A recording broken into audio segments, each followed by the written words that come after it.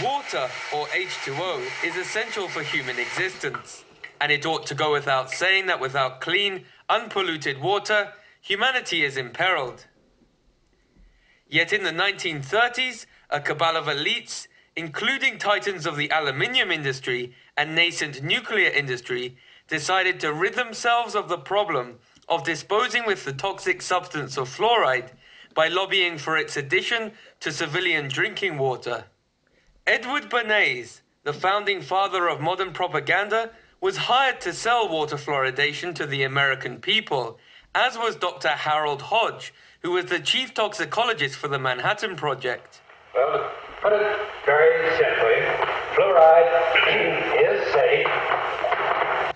Well, there's been lots of studies, hundreds of studies, uh, in the last 20 years, 30 years, that have shown that, well, actually, it's not safe. Last year, Calgary City Council, after coming under pressure from citizen anti fluoride activists, voted to stop imposing the potentially harmful substance on the people of Calgary. Yet citizens in many cities throughout North America are still being forcefully medicated by unethical politicians who appear to be more influenced by vested interests than by common sense. Cities like here, Lethbridge, Alberta, where water is still fluoridated, much to the displeasure of many of its residents. You go to the coffee shop downtown, there's going to be fluoride in your water. You buy soup from a restaurant in town that they use tap water to make, there's going to be fluoride in your soup. You buy anything, it's going to have fluoride in it if the town's water supply is fluorinated. It's a forced medication. You, you, you would have thought that we learned something from what happened in, uh, as a result of the Nuremberg trials. I mean, I think the Nuremberg Code basically says you can't, you you can't force people to take a medication. I don't really have a say in water fluoridation, and my water is fluorinated. And it, it's hard to believe that I am being medicated, and I would prefer not to be. It's a, I think it's a human right to be able to decide what goes in our bodies, what we, what we eat, what we drink. With at least 18 peer reviewed studies demonstrating that elevated levels of fluoride exposure leads to IQ deficits in children, along with many other potential afflictions, one cannot help wondering whether those in power know that they benefit from having a dumbed down citizenry and thus continue to pump fluoride into the public's water to foster acquiescence to their hegemony. For Press TV, Joshua Blakeney, Lethbridge, Alberta, Canada. Hello, everyone. Welcome to Global Government News. Today is Wednesday, April 11th, 2012, and I'm Darko. My website is ggnonline.com and ddarko 2012 and 2013 on YouTube. Okay, so I just got my water quality report um, from my local town today. And uh, I always tend to check these water quality reports. And the last three places I've lived in the past, what, four years or whatnot, six years, I've checked them because um, I've been aware of fluoride, not all the time, but uh, it's interesting because the one that I found that came in the mail today, here you'll. I tried taking a picture of it, but it just would not come in clear, so I took a video, and here it is. There's the fluoride, there's the levels 1.2, and then look at what it says erosion of natural deposits, water additive which promotes strong teeth. Okay. Then I saw this discharge from fertilizer and aluminum factories. It actually says it. It doesn't say that the water, uh, the, the fluoride that's added for uh, promoting strong teeth is actually from the discharge from fertilizer and aluminum uh, factories, but it pretty much tells you that.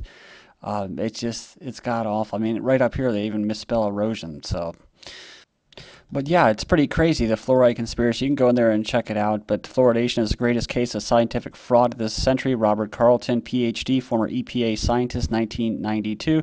And tell a lie loud enough and loud enough, and people will believe it, says Adolf Hitler. And there is actually ties to this uh, with IG Farben, the German company that started basically back in the 20s. But you skip down, and it talks about Alcoa. The dental caries prevention myth associated with fluoride originated in the United States in 1939 when a scientist named Gerald Cox, employed by Alcoa, the aluminum company of America, the largest producer of toxic fluoride waste, and at the time being threatened by fluoride damage claims, uh, fluoridated Some rats, lab rats, concluded that fluoride reduced cavities and claimed that it should be added to the nation's water supply. Says in 1947, Oscar Ewing, a longtime Alcoa lawyer, was appointed head of the Federal Security Agency, a position that placed him in charge of public health services. And over the next three years, uh, 87 new American cities began fluoridating their water, including the control city in a water fluoridation study in Michigan, thus eliminating most scientifically objective tests of safety and benefit before it was ever completed. And that name Ewing, there's actually a street back in my hometown in Southside Chicago that's called Ewing Street. I wonder if it was actually named after him for bringing uh, fluoride to the water supply. But uh, yeah, it's pretty crazy. I mean, even where I live, where it's basically Amish, they have the water fluoridated. I couldn't believe it. It's the first thing I looked at when I moved here was they actually fluoridated the water. I just shook my head in disbelief. So Wall Street rises after five losing days. Alcoa soars, so encouraging start to earnings season. And uh, basically went on and said that the uh, company that supplies your uh, fluoride to your water supply, their stock went up. Africa and Asia to lead urban population growth in the next 40 years, says UN report. This unprecedented increase in urban population uh, will provide new opportunities to improve re education, indoctrination, and social public services such as Planned Parenthood in Africa and Asia as more concentrated populations become easier, easier to reach, i.e., control what we are seeing is a very rapid growth of oh the mega cities the babylons. This is exactly what is uh, what is planned is to get everybody smashed up into these death cities where basically there won't be enough services there won't be enough food or housing or jobs and that's why they have um, plans to carry out eugenics. That's why they put uh, toxic waste in your water. That's why they try to force vaccinate people at gunpoint in africa. That's why uh, the basically uh, sterile rates are at a record high, and that's not a big phenomenon that's you know ever raised or anything, right? Uh, because they want people to go to them to the eugenicists uh, to be able to procreate. So you have to go to them, and then they'll say, "Oh, well, you don't have the right genes." Cost of aging rising faster than expected, says IMF. This is all building up to the real. Uh, uh, climate change summit and that cost of aging rising faster than expected. So people worldwide are living three times longer than expected on average, even though one third, one out of three or four or six people have cancer now and diabetes and and everything else, right? But hey, we're living longer and we're living uh, more prosperous and pushing up the cost of aging by 50%. And governments and pension funds are ill prepared. You know, see, that's why you don't have your pension. It's not because bankers robbed it from you. No, it's because you're just living longer. So so yeah, basically it goes on and says there's going to be more elderly people, and you know, you know, so they have this plan too. There's a plan for this to kill you. So you got to kill off the elderly too, and that's why they're um, pushing for this euthanasia law. And people always write in the comment boards, actually, Darko, I'm kind of for euthanasia. Well, I am too. You want to put a bullet through your head and kill yourself? Go ahead. I don't think there should be any laws at all. But the problem is, is when you start uh, playing little games about, oh well, I like the police, or I don't like the police, but we got to have them, right? Because you don't want anarchy. Well, no, you can't have both. Either you're common law, you protect yourself and your property, you know, uh, or you don't have cops, or you have cops and you have to deal with that. You know, so it's like with youth, it's like the death penalty. You know, I'm against the death penalty because it's being carried out by a state, by the state. So but uh, you know, if someone, yeah, if someone were to steal your property or kill some of your family members, you should be able to go over there and just kill them. I mean, that's that's just common law. So I mean, as far as euthanasia, if someone wants to kill themselves, uh, abort their babies, they should be able to do that. But if you're going to have laws to legislate it that you can and cannot do it, that you can and cannot euthanize somebody, then you're playing with fire there because then all of a sudden you're going to be, oh, you know, this person has deemed uh, uh, basically genetically inferior or um, uh, deviant, and we're going to have to put you down and euthanize you. So, BPA dest- uh, destroys sperm. Results from a five year trial on effects of bisphenol A in human males has revealed that popular plastics chemical uh, destroys sperm. One of the few BPA studies involving humans uh, says the trial sheds more light on the obvious harm BPA causes on male reproduction and the need to immediately remove the chemical from all of its products. And this is just like fluoride's been around for decades, and they know what it's doing. It's uh, turning uh, boys more into girls, feminizing them. And that's, of course, when you're trying to take over the entire planet, you want to try to get rid of the male who's going to try to protect their family and protect the race, I guess you could say, our traditional way of living. But if you don't have to agree with me on that, but it's just my own personal opinion.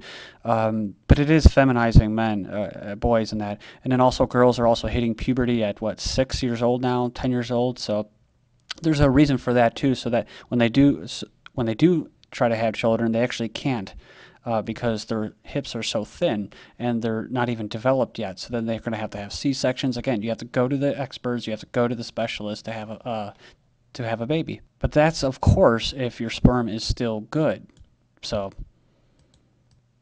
so dementia cases to double by 2030 says who? Why? Well, they're supposed to. You're not supposed to remember how much you're getting screwed up the rear. So number of people with dementia is expected to almost double as the spraying of aluminum uh, aerosols, oxides, and different types of metal particles in the sky globally uh, spray all over you and get into your bloodstream. So you like that? It says here it's trendy to have cancer. Barbie to roll out a cancer doll with a bald head and chemo side effects. So that's good. It's uh, that's what the whole pink ribbon is all about, making cancer sexy and cool. And you can promote it, or you can promote it by donating. You can help the cause of uh, basically carrying out this eugenics operation of known as cancer on women and breast cancer by donating to them. That it doesn't actually help cure cancer; it just goes into making it more intense more more covert.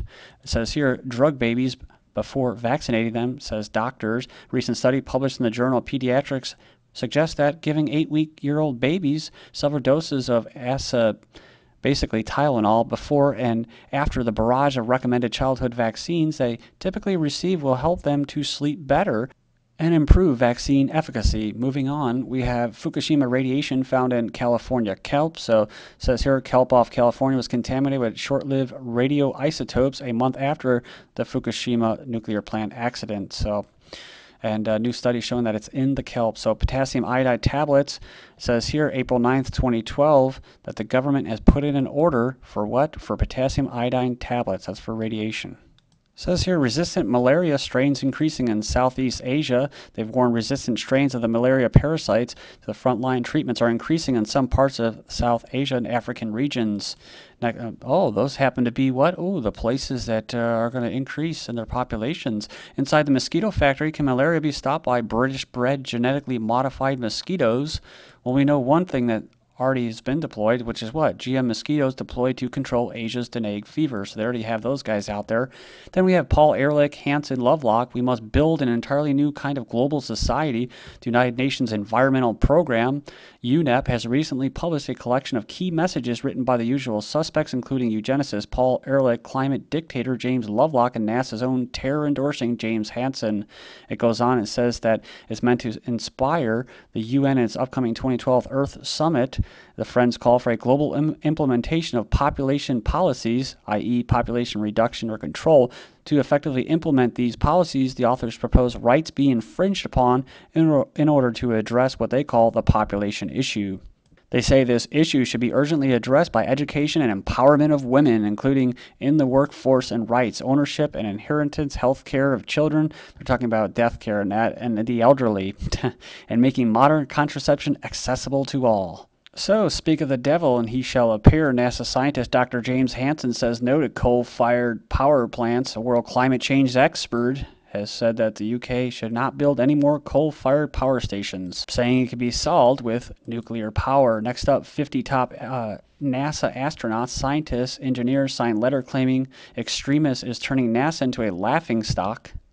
They called on NASA to stop uh, including them in unproven remarks regarding climate change that are not substantiated. Next up, homeowners to foot the, foot the bill for green improvements. Millions of homeowners will be forced to pay hundreds of pounds more to build conservatories or replace broken boilers because a green tax is to be introduced from October. So these new government regula- regulations will prevent people from making any home improvements unless they start paying for these green, uh, basically measures. The real cost of the Australian carbon tax? Well, green plan means 10% hike in bills. So that's the whole point of this climate change is to basically to starve you to death. or freeze you to death. It's like these smart meters that are known to set on fire. The cost the cost of the scheme may be underestimated and costs for consumers could rise. Well, they will. And as the EPA approved GMO insecticide is responsible for killing off the bees, they don't care. Because what? Genetically modified cows could fart less. And even light pollution is contributing to 10% of carbon emissions. This is GGN and I'm Darko. Thank you.